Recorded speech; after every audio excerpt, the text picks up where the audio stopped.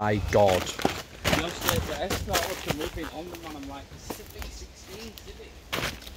So we found the remains of, there's not much left of it. I think this used to be a garage. And that is a Mark III, I believe, Ford Escort. Not a lot left of it now.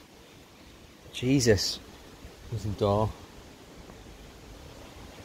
Yeah, it looks like some sort of garage. He's had a garage and he's had it garaged. And to be honest, it's not survived very well. Poor little thing. Wow. Poor car.